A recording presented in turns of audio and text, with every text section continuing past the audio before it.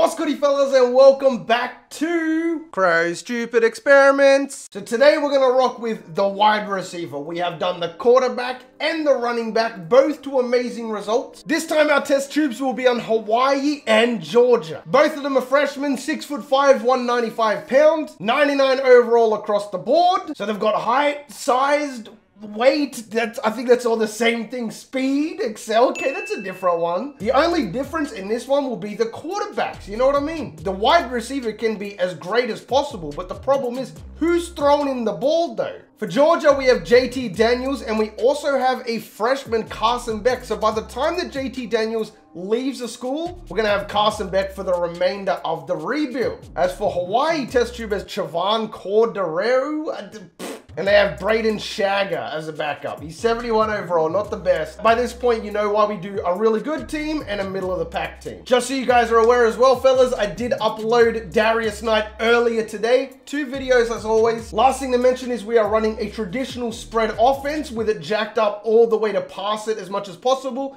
and offensive substitutions are set to the minimum so our wide receivers will see as much playing time as possible. I can't make it any better for both of them. We'll just have to see how we do. First of all, are we going to win this game against Clemson? It's an L. Great. That's how we want to start out. Oh, that's a tough loss. We don't want to be dropping games to Mizzou. Quarterback, he can just do whatever he wants. Running back, nobody can stop him. But wide receiver, he needs the ball to do anything. All right, Georgia signing some dogs and Hawaii signing some cats. I'm kidding, I'm kidding. We go eight and four though. I don't think Hawaii would have done much better. And none of us are gonna win the Heisman. It's all running backs, literally all running back. And you don't want to tell me running back is broken in this game. JT Daniels winning awards. Oh, there we go. We got the Biletnikoff. So we had 410 passing yards opposed to only 52 on the ground. We were dead last in rushing offense, but first in passing offense. I would check Hawaii, but they don't even have a bowl game, so I can't even do that. Well, at least JT went off. He had 5,000 yards compared to the rest of his class. And you got to imagine that's because of our receivers. There you go right there. Both of us are in the top five. So first of all, JT Daniels had 5,000 yards, 47 touchdowns, 12 picks. Test tube had 116 receptions, 1,900 yards. Average 16.4, had 18 touchdowns. Longest reception is 71 and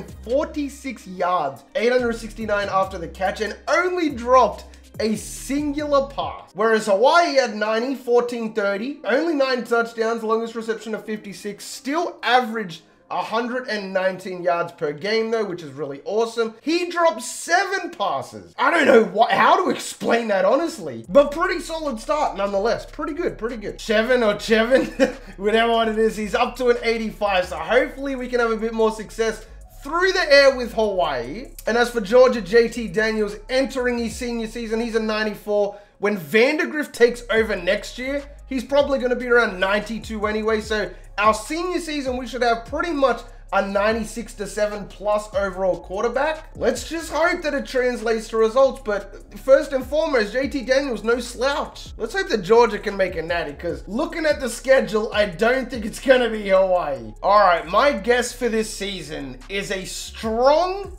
eight and four. I actually went to go make some deep fried chicken wings, so I haven't seen the score yet. Signed some decent players, and we're 10 and two. Wow, that's what I'm talking about. We are throwing it for 444.8 yards a game and only rushing it for 56. So the experiment is going perfectly. We're also averaging 41.4 uh, points a game. And then we just got enough to upgrade our coach pretty much all the way up. Checking out Georgia though. What did we do? Seven and five. Not good at all. So is this kind of like the running back where the player who played in a conference that was a little bit easier dominated so much more? I'm guessing it is. Seven and five is just unacceptable, man. Test tube Hawaii is second. And again, in two years, it's been nine running backs and only one other position, which is test. He barely missed out to 250 to 247. He missed out by one point. He would have literally been the Heisman by a single point, man. So we only rushed it for 53.6 yards and we passed it for 445. So Hawaii finished first in passing yards and we finished in second. We also finished second in points per game, second to Hawaii. So JT Daniels is breaking records and basically Test Tube is essentially making him look really, really good. This guy just broke Colt Brennan's record simply because of how good our receiving corps is. Well, how good a receiver is, I should say. And look at that. First and second are, of course, the two quarterbacks respectively. What about receiving? Okay, so this is where we're starting to differentiate a little bit. JT, real quick, had 5,300, 60 touchdowns, seven interceptions. Test tube, Georgia had 17,500 yards, 22 touchdowns. So a little bit less receptions, a little bit less yards. We had more touchdowns, average less yards per game, more yards after the catch, and we dropped two passes. So one, two, three. So our quarterback had 6,000 yards, 67 touchdowns, and eight interceptions. Test tube doubled his receptions, more than doubled his yards, more than quadrupled his touchdowns, averaged more than twice the amount of yards per game, almost 2,000 yards after the catch, and only dropped two passes. How is he not the Heisman winner? That's what I don't understand. That doesn't make any sense. And it seems really, really unfair. So keep in mind, whilst the quarterbacks are obviously very, very good, it's because of our scheme as well an offense with the full inter passing. It's super broken, apparently. In season three, A plus offense, fair enough. Let's just get right into what we're actually here for. Let's see what the quarterbacks are looking like under Brock Vandagriff. He's 94 overall, so we will in fact have a 99 overall quarterback for that senior season. Our receivers are also going to take some yards away from us because respectively so they're 95, 95, 97. As for Hawaii, Brayden Schager is 79. So the best we're probably going to get is around 85. Then again, the receivers that we have aren't like that crazy either. So you would think that Test Tube Hawaii is going to get way more looks than anybody else on the team, bar none. Wait, what happened? We left to go to Georgia. Oh, what the hell? Why are we on Georgia Tech though? Did we just like dominate and then leave the team? Because uh, we didn't get fired, I know that much. All right, now that this is all sorted, let's see how the difference in quarterbacks shakes this experiment up. We have Washington again, Colorado, Illinois from the Big Ten, and then it's a straight conference play. So let's see if this 79 overall quarterback is going to be able to make Test Tube look as good as he did in his sophomore season. All right, rate it 1 out of 10 beautiful fried chicken. Okay, we are dropping a lot of games here. I think this might be the first time that we've genuinely had a negative record at the end of the season. And it's all because of that stupid quarterback. We go four and eight, just like I thought. So this quarterback really was our downfall, man. The issue is we're so bad, I don't even get to see how many yards the team averaged. I guess we'll go to the bowl season, see what's up. Of course, Brock Vandagriff makes the Heisman voting. Ran the ball for 60 yards a game and passed it for 532. So this is by far the best season to date. The Hawaii quarterback actually had 4,300 yards, so not bad at all. But we led the nation respectively, both of us. It just happens that Georgia had a much better quarterback. 6,000 yards, 60 touchdowns,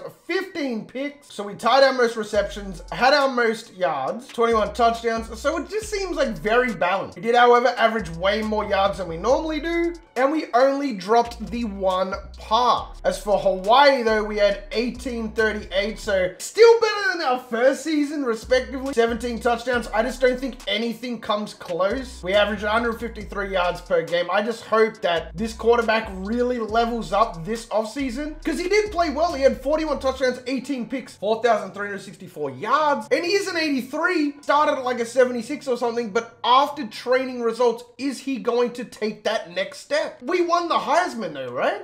Have we? No, we haven't. This would be the first experiment where we haven't won the Heisman. I mean, I guess if Brock wins it, then technically we win it because he wouldn't have gotten it without us. It depends really how you want to look at it. Like, yes, we didn't win the Heisman straight out. We still have one more season to go, but if Brock wins it, it's kind of like a moral victory, I guess, for our wide receiver. All right, we got some people declaring for the draft. Our quarterback is trying to go. We got Ringo. He was the best one in the Beatles. But yes, Brock is sticking around even though he's only a sophomore. As long as we're not leaving, that's the important thing. And our quarterback is sticking around. All right, so the last season, A plus offense, straight across the board 99s. This is good enough to win a Heisman. Coach is maxed out. Todd Monken's up to number 13. And of course, Hawaii has to start out against ranked 2 Michigan. Why are they making it so hard for my little Hawaii, bro? We have a brand new offensive coordinator. Not bad. It's not great, but it's not bad. I just, I don't get it. Like we went 11 and 2 or whatever, and now we're just imploding. So our quarterback is up to 87. Pretty much going to be around, I would say, a 90 with the quarterback boost that we have. Of course, we are there. Just wanted to double check. And we got a great group of receivers with us. And Brock is to a 98 overall. So everything is exactly where it needs to be. I would just love to have another one of those